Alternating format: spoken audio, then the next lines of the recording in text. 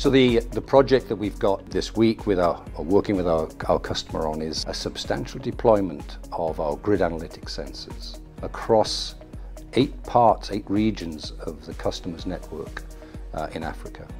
Uh, so this is really the first phase of the project. Of course, the distribution network is very vast across the country. We know the EPRA, which is the regulatory body in Kenya, has uh, specific requirements about uh, outage and the duration uh, for the customer. And we understood that this was part of the plan to improve on these metrics. And we'll be looking forward to having the sensors being shipped into the country. We'll have another session for site acceptance and training.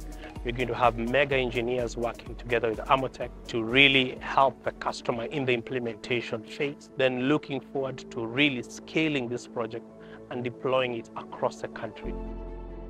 I am extremely excited about this project. Um, I think it's progressing really, really well and it is a, a, big, a big milestone for Africa.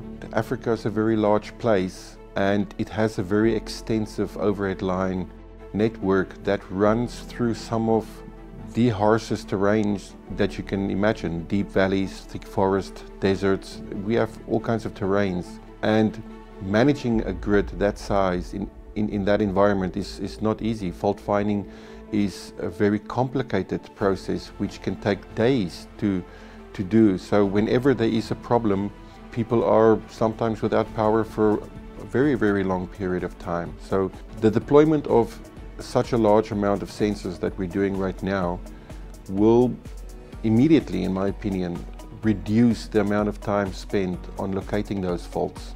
Uh, I am I'm proud of what we've done. The feeling is one of, of joy, pride. You know, it's sort of, uh, it, it warms you.